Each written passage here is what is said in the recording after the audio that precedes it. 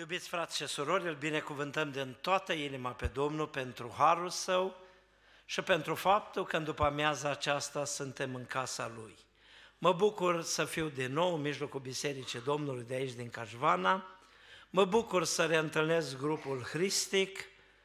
Colaborăm de mai multă vreme, i-am întâlnit pe câmpurile de misiune și oarecum când inimile bată la fel – în câteva direcții esențiale, și anume mântuirea oamenilor și ajutorarea celor în nevoie, lucrurile astea ne adună și ne face să ne întâlnim cu bucurie. Vrem ca seara aceasta să fie în continuare tot o seară a prezenței lui Dumnezeu, în care Domnul să ne vorbească tuturor și să plecăm din locul acesta schimbați de Evanghelie. Salutăm și prietenii Evangheliei, Bine ați venit în casa Domnului și dorim ca acest cuvânt al lui Dumnezeu să ne motiveze pe fiecare dintre noi să ne apropiem mai mult de Domnul. Amin. Haideți să ne ridicăm înaintea Domnului.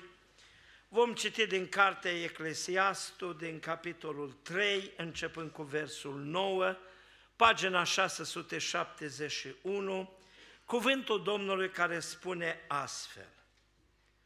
Ce folos are cel ce muncește din truda lui? Am văzut la ce îndeletnicire supune Dumnezeu pe fiii oamenilor.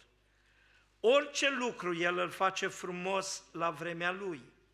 A pus în inima lor chiar și gândul veșniciei, măcar că omul nu poate cunoaște de la început până la sfârșit lucrarea pe care a făcut-o Dumnezeu. Am ajuns să cunosc că nu este altă fericire pentru ei decât să se bucure și să trăiască bine în viața lor. Dar și faptul că un om mănâncă și bea și duce un trai bun în mijlocul întregii lui munci este un dar de la Dumnezeu.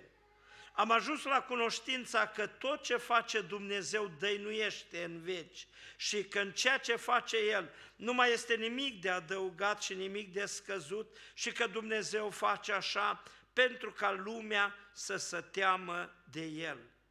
Ce este, a mai fost și ce va fi, a mai fost. Și Dumnezeu aduce iarăși înapoi ce a trecut. Amin. Amin. Vă rog să reocupați locul.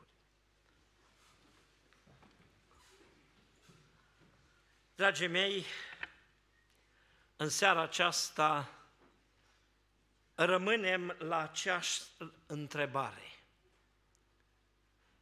Al cui ești? Care este identitatea ta?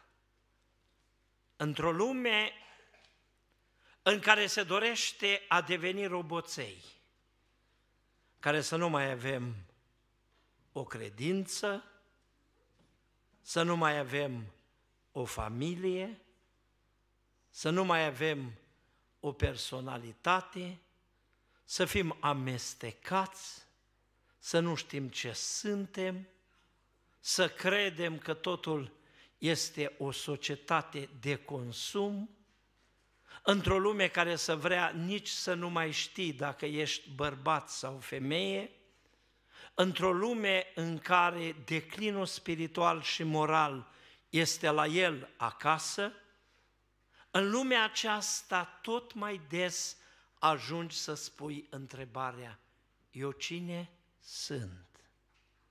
Și eu al cui sunt?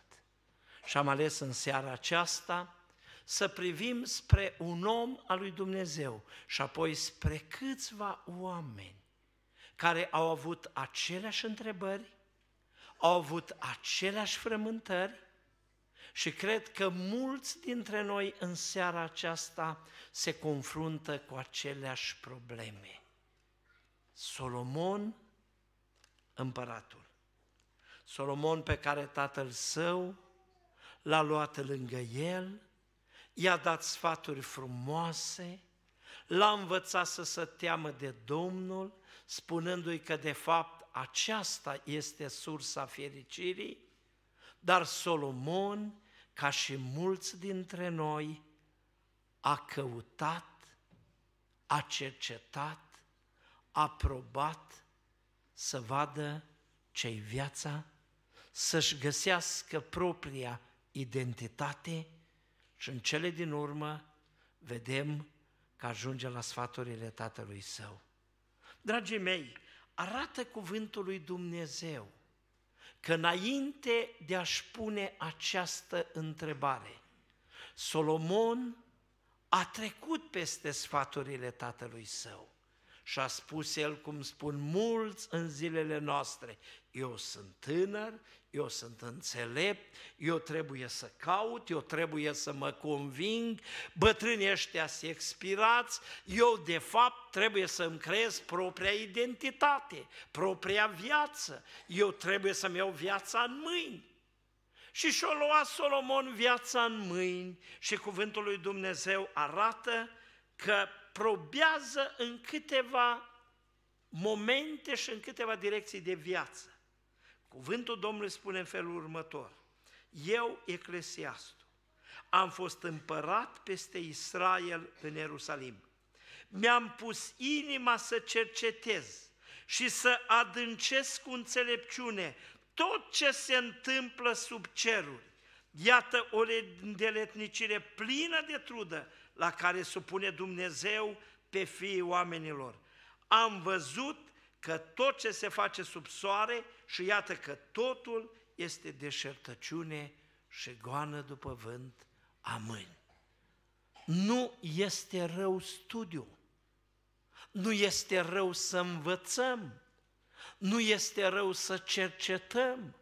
Multă vreme comuniștii au spus că cei care umblă cu Biblia sunt niște oameni înapoiați, care spune crede și nu cerceta.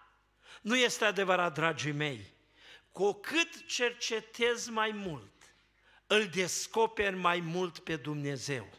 Cu cât te uiți mai mult în jurul tău, îți dai seama că în spatele tuturor lucrurilor pe care noi le consumăm sau cu care interacționăm, vezi mâna minunată a lui Dumnezeu. Așa au cântat și tinerii noștri în seara aceasta. Noi credem că tot ceea ce ne înconjoară este datorită lui Dumnezeu și acolo este mâna lui Dumnezeu. Frumusețea crinului, glasul rândunicii, murmurul izvorului de apă, strigă în cor că există un Creator Dumnezeu, slăvit să fie numele Domnului. Dar a căutat ceva Solomon în toată știința și după ce a studiat mult, după aceea a citit toate cărțile și a dat seama că de fapt totul este deșertăciună și goană după vânt, că Solomon nu și-a găsit împlinirea. Merge mai departe și Solomon probează un al doilea episod al vieții sale, un al doilea domeniu și spune în felul următor, am zis inimii mele, haide, vreau să te încerc cu veselie și gustă fericirea. Și iată că și aceasta este o deșertăciune. Am zis gândului, ești o nebunie și veseliei, ce te înșeli degeaba, am hotărât în inima mea să-mi veselesc trupul cu vin, în timp ce inima mă va cărmui cu înțelepciune. Și în cele din urmă, în mijlocul distracțiilor, și-a dat seama că totul este deșertăciună și goană după vânt. Cred oamenii că fericirea e să mănânci și să bei. Și când termină, a doua zi își dau seama că cu buzunarul gol, îi doare capul și ar vrea să golească toată fântâna de apă.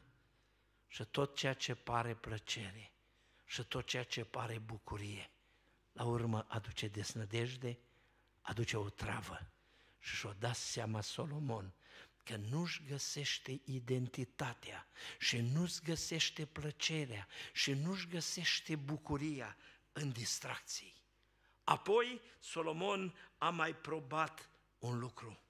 Am făcut lucruri mari, mi-am zidit case, mi-am sădit vii, mi-am făcut grădini și livezi de pomi și am sădit în ele tot felul de pomi roditori, mi-am făcut iazuri, ca să ud Dumbrava unde cresc copacii, mi-am strâns argint și aur și bogății ca de împărat și țări, mi-am adus cântăreți și cântărețe și desfătarea fiilor oamenilor, am ajuns mare, mai mare decât tot cei ce erau înaintea mea în Ierusalim, mi-am păstrat chiar și înțelepciunea. Și apoi, spune Solomon, Apoi când m-am uitat cu băgare de seamă la toate lucrările pe care le făcusem cu mâinile mele și la truda cu care le făcusem, am văzut că în toate este numai deșertăciune și goană după vânt și nu este nimic trainic sub soare.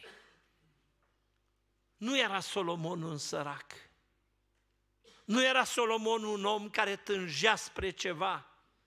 Nu era Solomon omul care să uita la alții și spunea, o, oh, nu-i nicio problemă. Solomon le-a avut pe toate și în momentul când le-a avut pe toate nu a găsit fericirea. Se uita la ce a făcut, se uita la munca lui, se uita la totul și nu-și găsea împlinirea, nu-și găsea identitatea. Și spune cuvântul Domnului că am ajuns până acolo că m-a apucat o mare desnădejde de toată munca pe care am făcut-o sub soare. Căci drept vorbind, ce folos are omul din toată munca lui și din toată străduința inimii lui cu care se trudește sub soare? Toate zilele lui sunt pline de durere și truda lui nu este decât în ecaz. Nici măcar noaptea n-are odihnă inima lui și aceasta este o deșertăciune. Priviți dumneavoastră, un om care a învățat toată știința, un om care s-a distrat, un om care și-a construit un imperiu, un om care și-a păstrat înțelepciunea, un om care nu era nimeni atât de respectat și mare ca el, ajunge să cadă în depresie și să spună totul este deșertăciună și goană după vânt. Ce tragedie mai mare decât să muncești o viață, să-ți faci o casă, să te uiți la ea și să nu te poți bucura de ea. Ce tragedie mai mare să visezi la mese întinse o viață întreagă și să ajungi într-un pat de spital și noptiera să-ți fie plină și să nu-ți trebuiască nimic.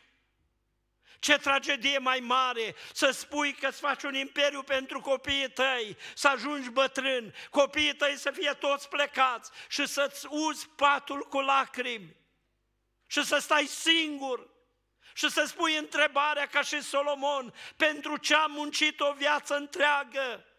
Solomon ajunge în depresie și spune totul este deșertăciune și goană după vânt. Și în momentul acesta greu, în momentul acesta de cumpănă, în momentul acesta de neîmplinire, în momentul acesta de căutare, apare soluția de la Dumnezeu. Și spune cuvântul Domnului astfel, când Solomon încă o dată își pune această întrebare, și spune în felul următor, ce folos are cel ce muncește din truda lui? Am văzut la cele îndeletnicire, supune Dumnezeu, pe fiii oamenilor, orice lucru, El îl face frumos la vremea Lui. Și acum și-a pus în inima lor chiar și gândul veșniciei. Și deodată Solomon se luminează. Și deodată Solomon își aduce aminte de cuvintele tatălui său. Solomon Caută-L pe Domnul, fii om, rămâi lângă El și în modul ăsta vei izbuti în tot ceea ce vei face. Solomon, N-are Dumnezeu nimic împotriva bogățiilor tale, n-are Dumnezeu nimic împotriva cărților tale citite, n-are nimic Dumnezeu împotriva palatelor tale. Dumnezeu vrea să te bucuri în mijlocul întregii tale agoniseri, dar ai uitat un lucru, Solomon, și asta te face nefericit, și asta te face neîmplinit. Și asta te face să cazi în depresie, pentru că totul ai crezut că e mâncare și băutură, dar de fapt, Solomon, în tine eu am pus gândul veșniciei.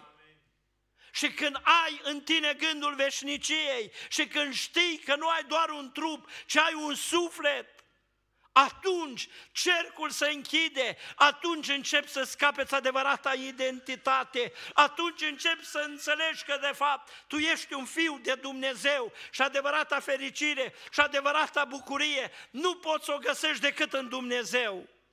Toate lucrurile pământului ăsta sunt bune.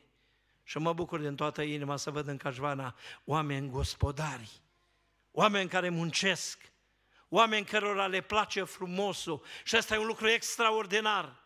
Dar aceste lucruri, fără gândul veșniciei, zero.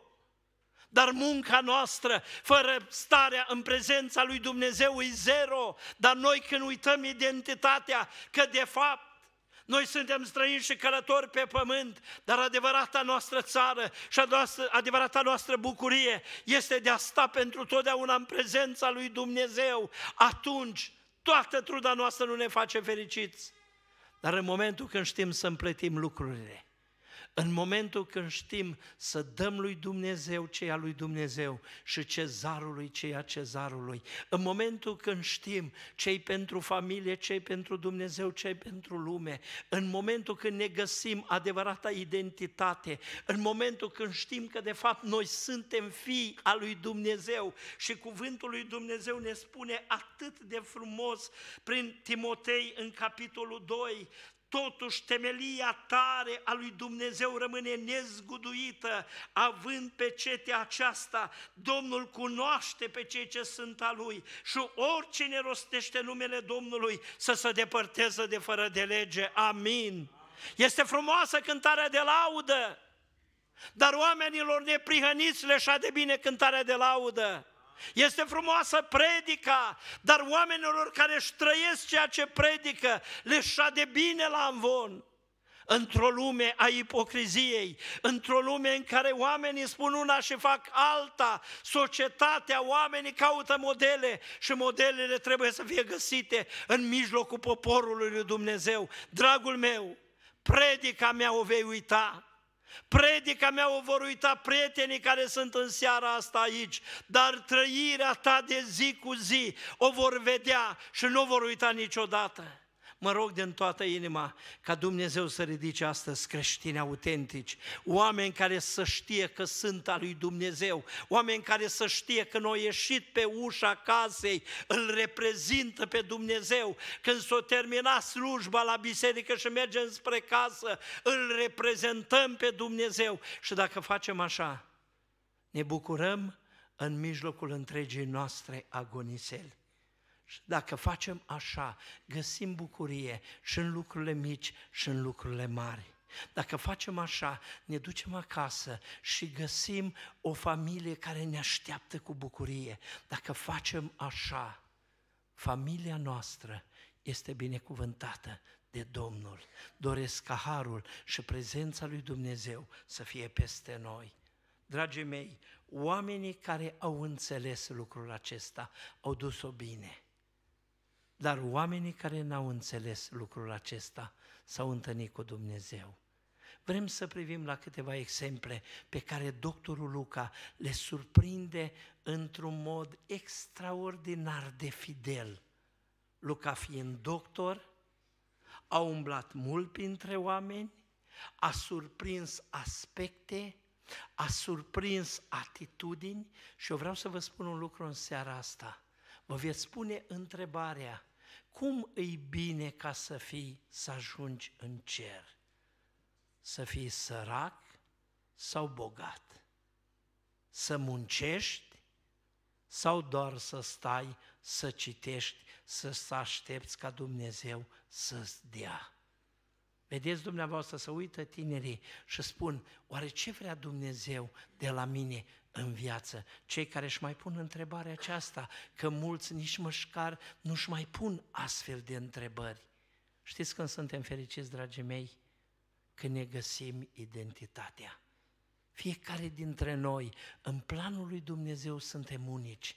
Tu ești unic, eu sunt unic. Când tu încerci să fii în locul meu și eu încerc să fiu în locul tău, nu bate ceva Dar când ne găsim propria identitate, când înțelegem voia lui Dumnezeu cu privire la noi, când ne înțelegem slujirea, când ne înțelegem chemarea, când ne înțelegem locul, mi-amintesc de un prieten din America, o venit cu ajutoare și a încercat să-l pună la predică și vine la mine supărat și îmi spune, auzi frate Liviu, Ionatan ăsta mă bagă în diaste, eu știu să dau pâine la oameni, nu știu să predic. Frații mei, fiecare în trupul lui Hristos își are identitatea lui, își are chemarea lui și ești fericit atunci când îți găsești chemarea pe care Dumnezeu ți-a făcut-o. Când nu, priviți dumneavoastră la Solomon, le-au avut pe toate. Avea o sută de motive să fie fericit. Nu aștepta un kil de carne să muncească o lună ca în Venezuela și totuși omul ăsta care le-a probat pe toate, care le-a avut pe toate, a ajuns în depresie și a zis, la ce folos toată truda asta? Muncești, trece viața pe lângă tine, ajungi bătrân, mori și în urma ta rămân copiii care să certe. Ce folos? Priviți dumneavoastră la ceea ce surprinde Luca. În capitolul 12, când unul din mulțime a venit la Isus și a spus, învățătorule, spune fratele meu să împartă cu mine moștenirea noastră. Omule, i-a răspuns Isus, cine m-a pus pe mine judecător sau împărțitor peste voi? Apoi le-a zis, vedeți și păziți-vă de orice fel de lăcomie de bani, căci viața cuiva nu stă în belșugul avuției lui. Și a spus pilda aceasta, țarina unui om bogat rodise mult. Și el se gândea în sine și zicea, ce voi face, fiindcă nu mai am loc unde să-mi strâng rodurile? Iată, a zis el, ce voi face? Îmi voi strica grânarele și voi zidi altele mai mari. Acolo voi strânge toate rodurile și toate bunătățile mele și voi zice sufletului meu, suflete, ai multe bunătăți strânse pentru mulți ani, odihnește-te, mănâncă, bea și veselește-te. Și Dumnezeu a zis, nebunule, chiar în noaptea aceasta ți se va cere sufletul înapoi și lucrurile pe care le-ai pregătit, ale cui vor fi? Tot așa este cu cel ce își adună comori pentru el și nu se îmbogățește față de Dumnezeu. Dragii mei, ne punem întrebarea, care e planul lui Dumnezeu cu privire la noi? Să nu mai facem nimic? Să nu mai adunăm nimic? Ce vrea Dumnezeu de fapt? Omul acesta n-a greșit prin faptul că Dumnezeu a făcut ca recolta să rodească. Ce omul acesta a greșit datorită faptului că a cofundat lucrurile.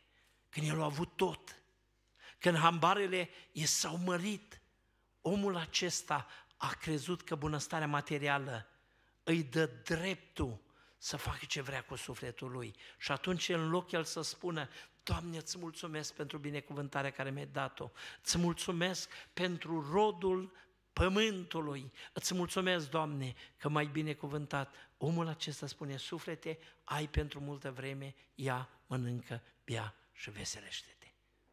Cunosc un om care era pe val, avea tot ce-i trebuie. În momentul în care s-a crezut că Iisus a crezut că poate să-și permită orice. Era, cred, în anul 1993. Frații mei, în momentul când și-a permis să păcătuiască, în șase luni, a pierdut totul.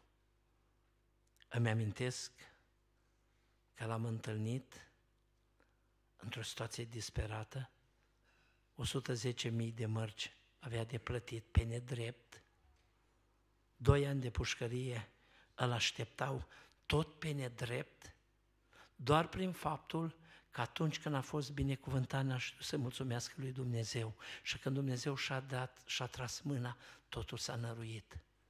În acele momente, Dumnezeu mi-a vorbit și mi-a spus, tu trebuie să te duci să salvezi pe omul ăsta. A mers într-un context neobișnuit. Dumnezeu a dat o izbândă. Omul ăsta a fost salvat. Familia lui a fost salvată. Dar omul ăsta a înțeles că de fapt, când Dumnezeu își trage mâna, poți să fii cât de sus crezi tu că ești. Te prăbușești și rămâi istorie. Mai cunosc un alt exemplu, un alt prieten de meu, mare om de afaceri, în altă zonă a țării. Când a văzut că i s-au mulțit grânarele, n-a mai avut timp pentru biserică, n-a mai avut timp pentru slujire, n-a mai avut timp să meargă pe sate, că el crezea că totul este mâncare și băutură. Dumnezeu și-a tras mâna, a pierdut totul, a ajuns în pragul falimentului. În acel moment, omul acesta s-a trezit și a spus așa, lucrul ăsta se datorează faptului că Dumnezeu și-a tras mâna, că eu am schimbat prioritățile.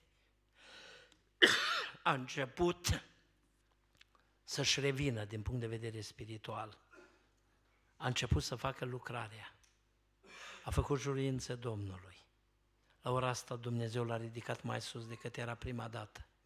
Are timp și de business și este unul dintre cei mai sus oameni dintr-o anumită zonă a țării.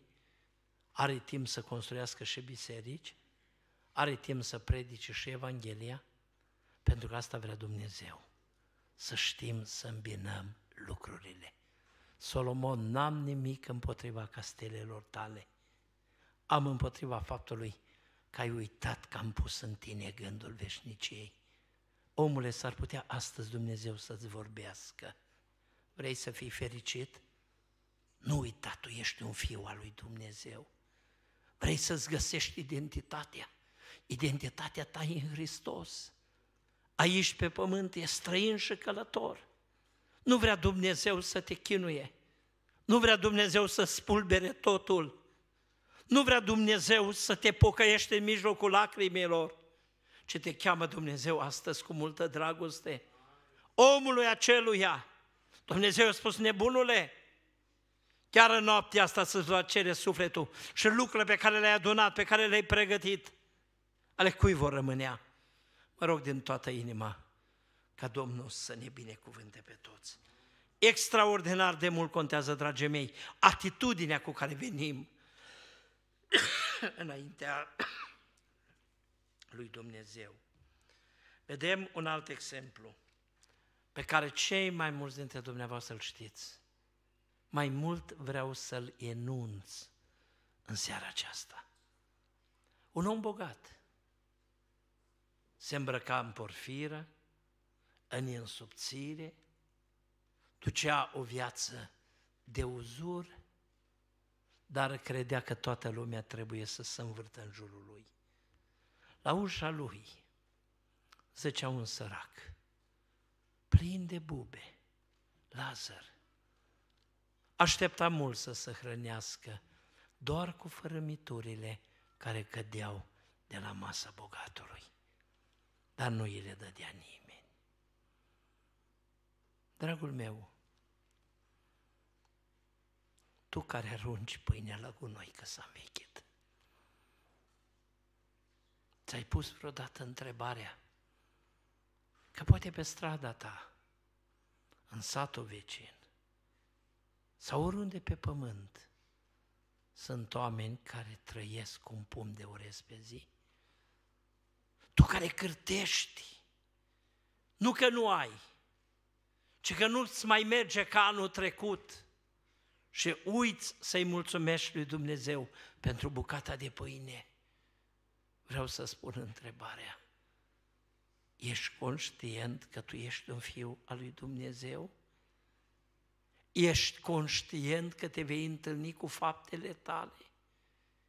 Ești conștient că aici bogățiile noastre toate le mănâncăm molile, se străcă și le aruncăm, dar putem să trimitem în cer, unde molia nu le mănâncă, unde nu se strică, unde nu se învechesc.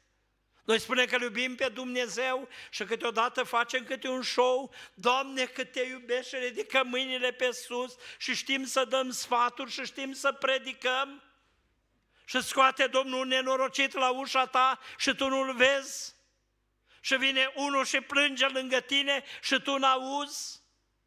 Este timpul, dragii mei, să înțelegem că religiunea curată și neîntinată este să ne păzim neîntinați de lume, dar și să cercetăm pe orfani și pe văduve necazurile lor. Atâta vreme cât este pământul, Dumnezeu lasă lângă noi săraci ca să ne probeze pe noi.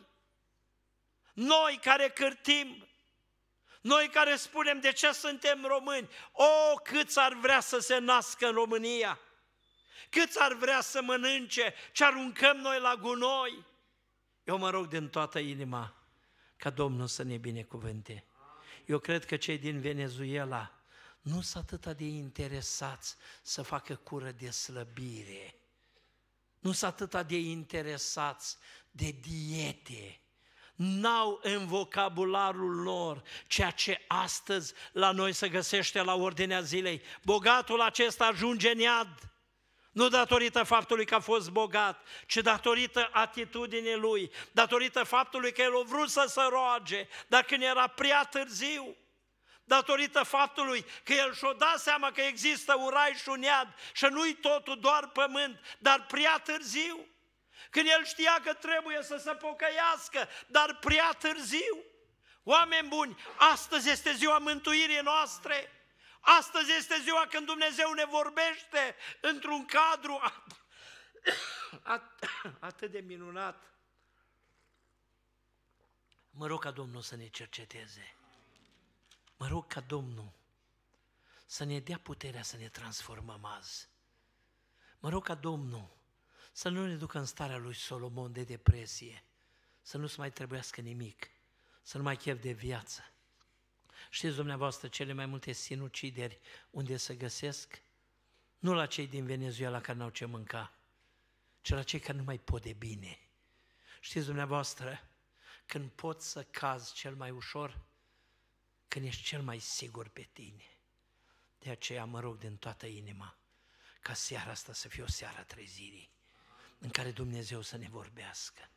Dragii mei, mai găsim un bogat. Și cuvântul Domnului spune în felul următor, tot Luca îl surprinde. Un fruntaș a întrebat pe Iisus, bunul învățător, ce trebuie să fac ca să moștenesc viața veșnică? Pentru ce mă numești bun?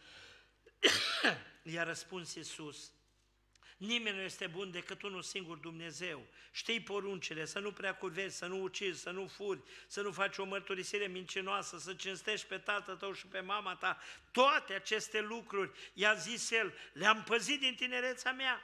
Când a auzit Iisus aceste lucruri, i-a zis, îți mai lipsește un lucru, vinde tot ce ai, împarte la săraci și vei avea comoară în ceruri. Apoi vină și urmează-mă. Când a auzit la aceste cuvinte, s-a întristat de tot, căci era foarte bogat. Oameni buni, aici nu-i vorba de bogăție, cât e vorba de faptul de ce ți-i legată inima. Un om foarte, foarte, foarte bogat a fost întrebat odată, cât crezi că ar trebui ca Dumnezeu să-ți dea ca să fii mulțumit? Știți ce a spus? Și era foarte bogat. Spus că un pic mai mult decât am eu acum. Un pic mai mult. Asta e natura umană. Niciodată nu suntem bucuroși. Niciodată nu știm să mulțumim lui Dumnezeu. Totdeauna ne uităm în curtea vecinului. Totdeauna ne uităm la casa vecinului, totdeauna ne uităm la alții care sunt mai sus decât noi, nu ne uităm la alții care sunt mai jos decât noi. Frații mei, nu este totul sau e mult sau puțin, totul este să știi să te bucuri de ceea ce Dumnezeu ți-a dat. Caută-ți identitatea. Puneți întrebarea, Doamne, unde mă vrei? Apostolul Pavel a spus un lucru extraordinar. Știu să trăiesc și în belșug, știu să trăiesc și în sărăcie. E o artă asta.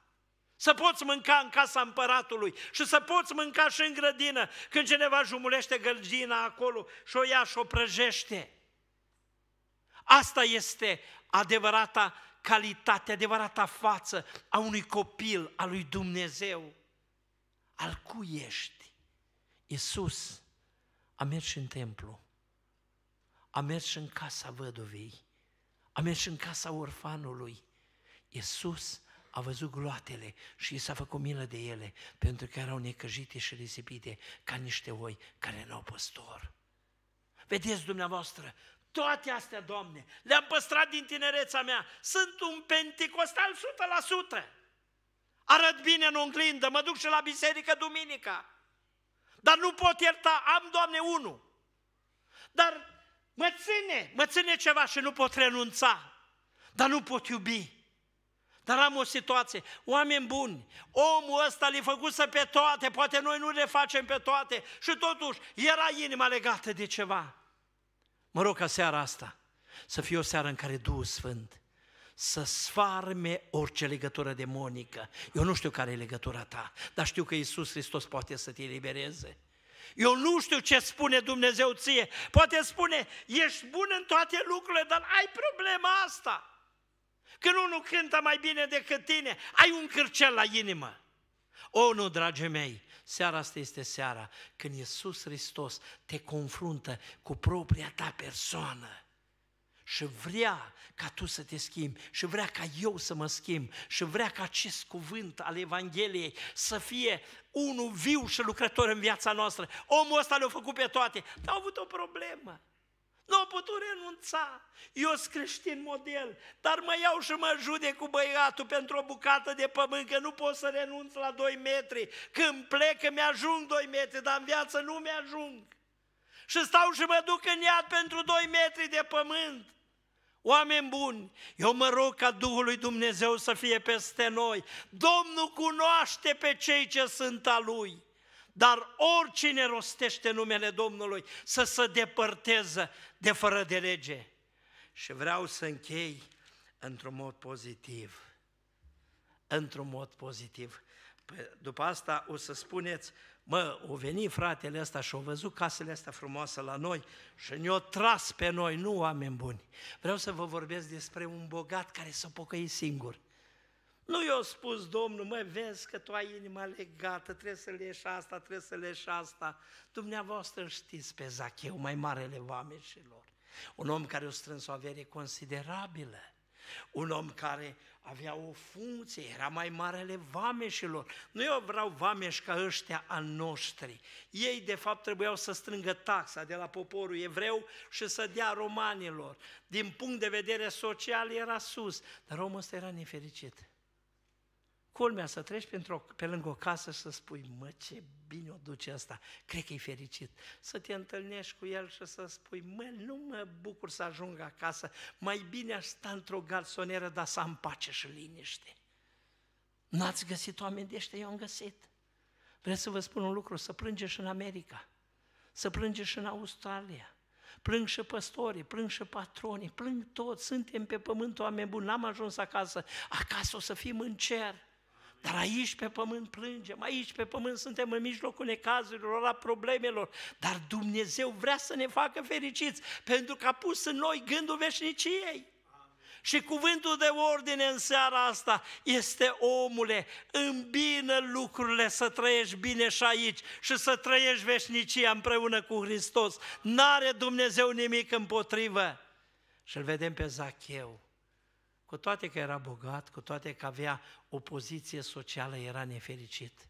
Cei din neamul lui îl priveau ca pe un vânzător, ceilalți îl priveau ca o slugă, ca unul care îl vinde și pe taică sau pentru bani și îl vedem pe Zacheu de unul singur, dar au auzit că vine Isus.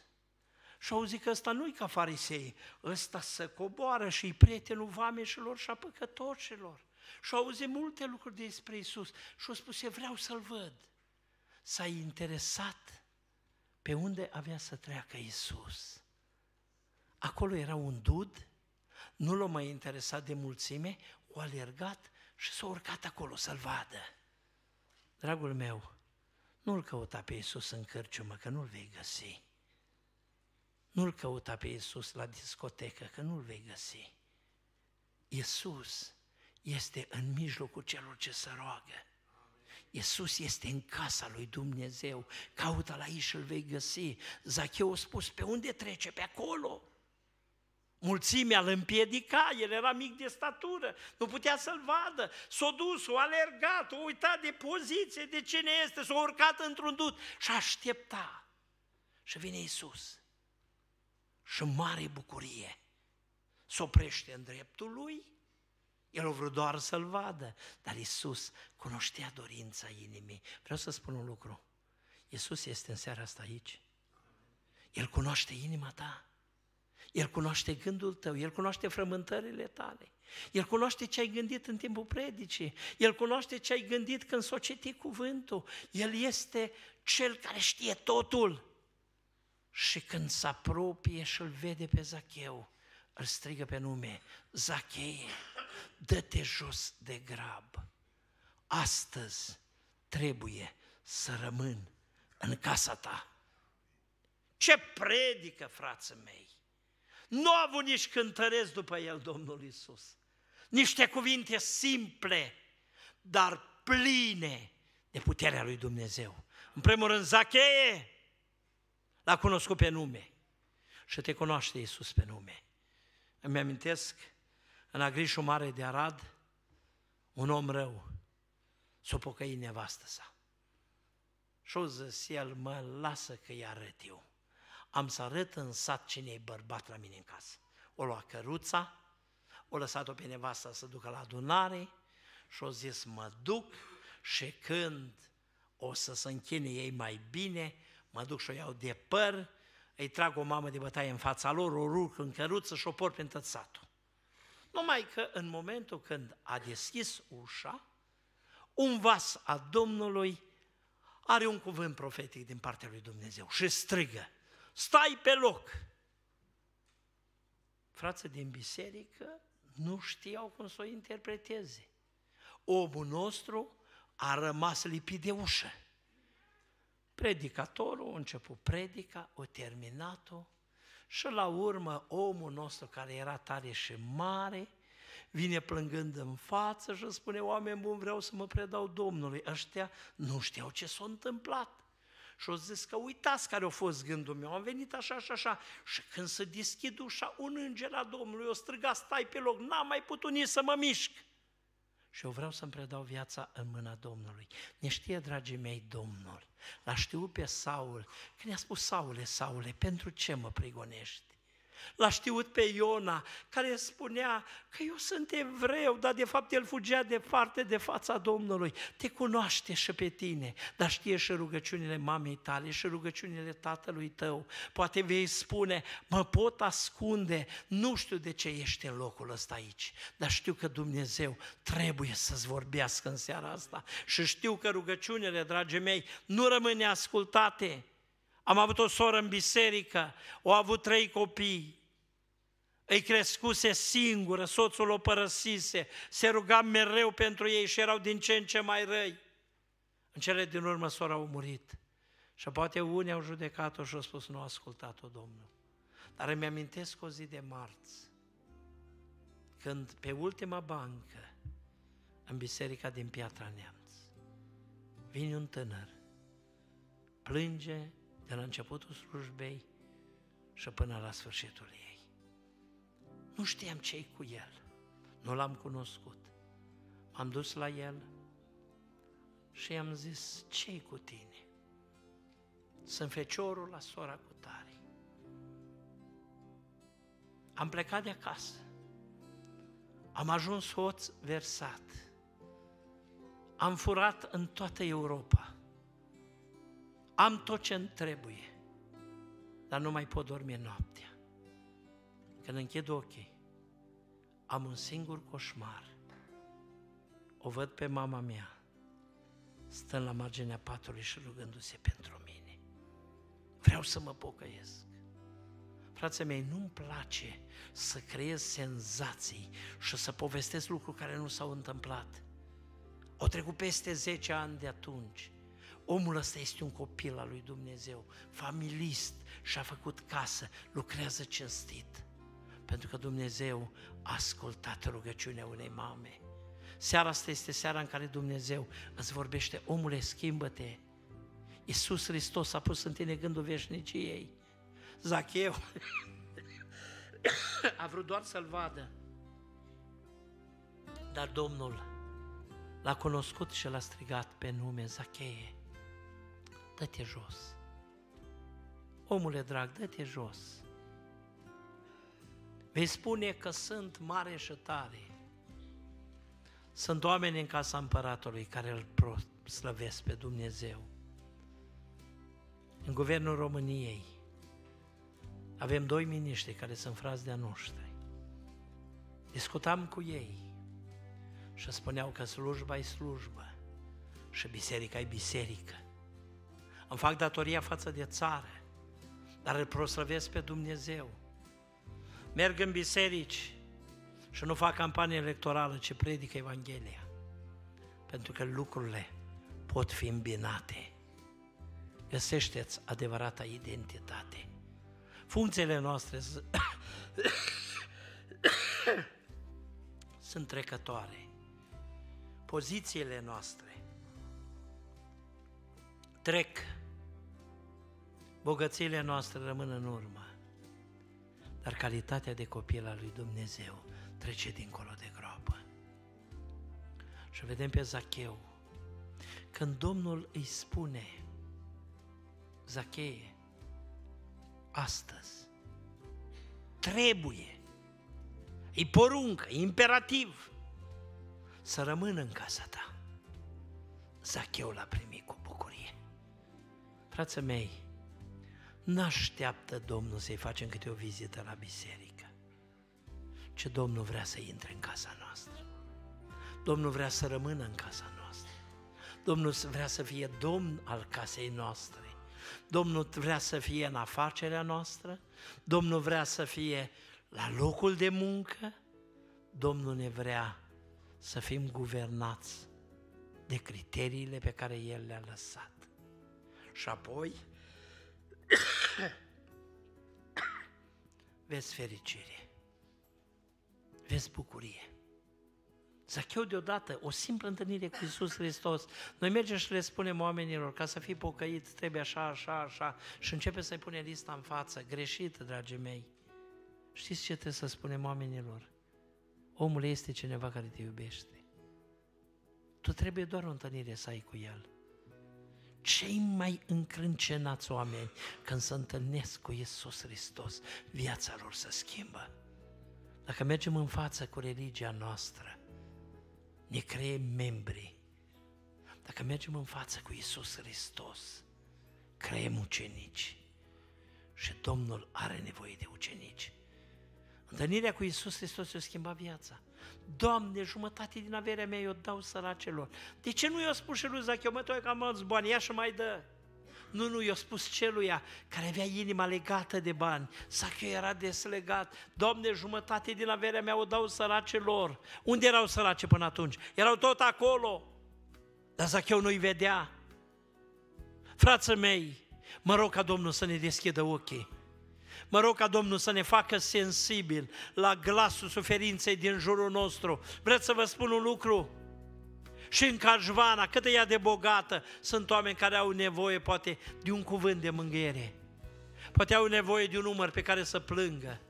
Poate au nevoie de o încurajare. Poate este un bătrân care are bani în cont, dar are cine îi tăia lemnele. Credeți dumneavoastră că slujirea este numai să cântăm în biserici și să ne predicăm unii altora? Nu, slujirea înseamnă să coborâm între oameni Slujirea înseamnă să semănăm cu Hristos. Slujirea înseamnă să dăruim dragoste. Slujirea înseamnă să-L prezentăm pe Iisus Hristos. Doamne, jumătate din averea mea o dau săracelor și dacă am... și dacă... mă scuzați, am răcitare din cauza aerului condiționat, dar sper ca Domnul să mă ajute să merg până la capăt și nu mai e mult. Slujirea înseamnă să îndrepți ceea ce ai stricat. Doamne, dacă am năpăstuit pe cineva cu ceva, îi dau înapoi împătrit. Doamne, mă duc să-mi cer iertare de la soție. Doamne, mă duc să-i spun vecinului, vecine, am mutat hotarul, vreau să-l dau înapoi. Adevăratul creștinism, dragii mei, pe care oamenii îl caută, este un creștinism practic Adevărata întâlnire cu Isus Hristos schimbă viața, schimbă generații, schimbă localități. Și eu mă rog ca și Piatra Neamțu, și Cașvana, și Timișoara, și toată România să fie schimbată de Evanghelie. Vrem să ne rugăm. Ne vor ridica cu toți în picioare. Lasă ca Duhul Sfânt să te cerceteze. Puneți întrebarea, în care cuvânt sau în care atitudine te regăsești? Puneți întrebarea, a cui ești? Au venit oamenii și au spus, noi suntem fiii lui Avram. Și Ioan vine și le spune, dacă ați fi fiii lui Avram, ați face faptele lui Avram. Puneți întrebarea, dragul meu, a cui ești în seara aceasta? Puneți întrebarea dacă Domnul ar veni ca la Ezechia și ar spune, puneți casa în rânduială, că vei muri negreșit, ce vei face? De la cine îți vei cere iertare prima dată? Unde te vei duce să legi rana? Care va fi cuvântul tău? Ce vei schimba din viața ta? Eu mă rog ca seara aceasta să fie o seară a schimbării. Mă rog ca în rugăciunea aceasta, fiecare dintre noi, să-i spunem Domnului, Doamne, schimbă-mă în direcția asta. Mă mânie, Doamne, scăp vorbe necontrolate. Vreau de astăzi să fiu un alt om. Doamne, am fost egoist. Am călcat peste cadavre. Vreau de astăzi să fiu altruist. Doamne, n-am văzut pe cel sărac. M-am bucurat că eu am și n-am înțeles că același Dumnezeu face să cadă ploaia și în Cașvana, și în Piatra Neamț, dar și în Africa și în cele mai săraci locuri ale lumii. Doamne, vreau să fiu altul.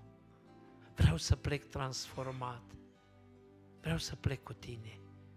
Haideți să intrăm în rugăciune și fiecare să lăsăm pe Duhul Sfânt să ne conducă rugăciunea noastră. Amin.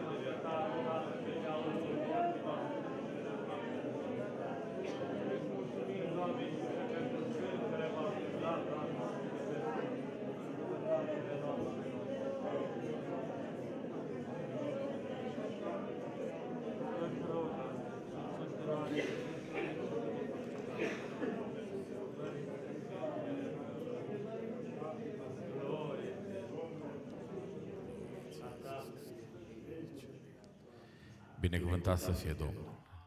Vă rugăm să reocupați locurile. Ne aflăm la sfârșitul slujbei din seara aceasta. Ne-am bucurat să fim la dumneavoastră. Mulțumim fratelui pastor, conducere bisericii care și-au deschis ușile pentru misiunea Hristii, în seara aceasta să slujim aici. Și zic ca Dumnezeu să vă binecuvinteze pe fiecare dintre dumneavoastră. Și Dumnezeu să ne ajute să punem în practică ceea ce am ascultat în seara aceasta. Ajută-ne, Doamne! Uh, la ieșire, dacă doriți să vă implicați în această lucrare de misiune pe care o facem, atât în România cât și în afara țării, prin vânzare de CD-uri la ieșire, prin donații, această lucrare va putea să meargă înainte și în seara aceasta puteți să ajutați pe un dezbrăcat să-l îmbrăcați, un flământ să-l săturați și împreună să putem lucra pentru lărgirea împărăției lui Hristos. Și zic Dumnezeu să ne binecuvinteze pe toți. Următoarea cântare și probabil că ultima cântare din seara aceasta, mergeam pe drumul meu frumos, plin de bucurie și speranță, dar n-am știut că fără de Hristos am să rămân în nesiguranță. Dragilor, fără Hristos este o totală nesiguranță. În seara aceasta, mergeți cu Hristos și duceți pe acest Hristos care este viu și vecinilor dumneavoastră și cu cei care intrați în contact mâine la servici. Duceți pe acest Iisus și spuneți că fără El nu este siguranță. Cu El avem totul și zic Dumnezeu să ne binecuvânteze pe toți. Fiți binecuvântați de Domnul. Amin.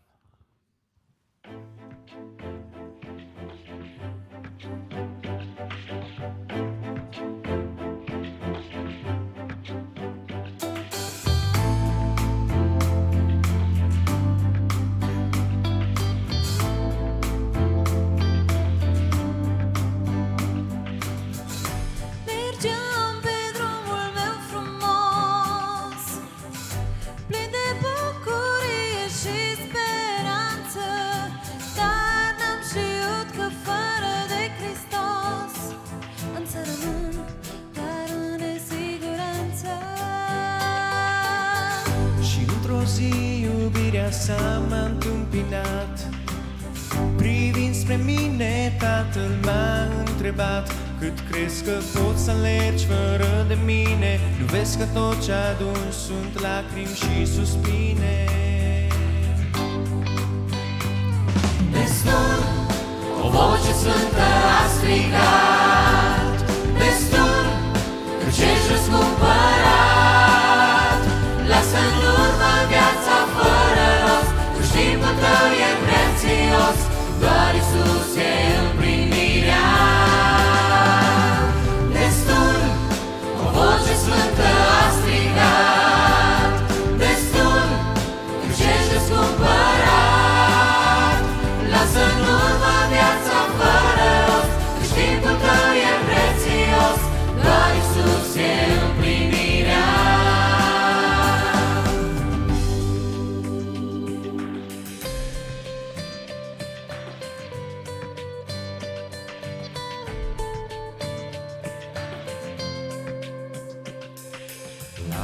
Lasă trecutul tău murdar. Lasă-l pe Iisus să-l șteargă. Nimic nu va mai fi în zadar Predă-i viața întreagă. Lasă trecutul tău murdar. Lasă-l pe Iisus să-l șteargă. Nimic nu va mai fi în zadar Predă-i viața întreagă. Lasă trecutul tău murdar Lasă-l pe Iisus să șteargă Nimic nu va mai fi în zadar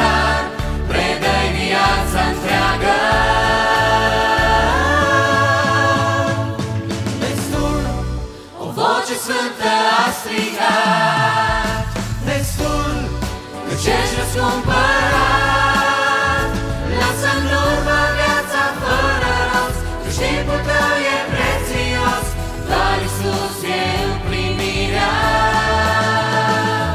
destul, O voce sfântă a strigat. Destul Că ce-și răscumpărat?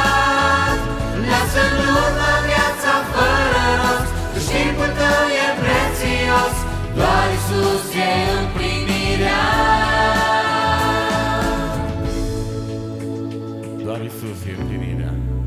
Doar cu El poți să fii împlinit. Dumnezeu să vă binecuvinteze pe toți. Amin.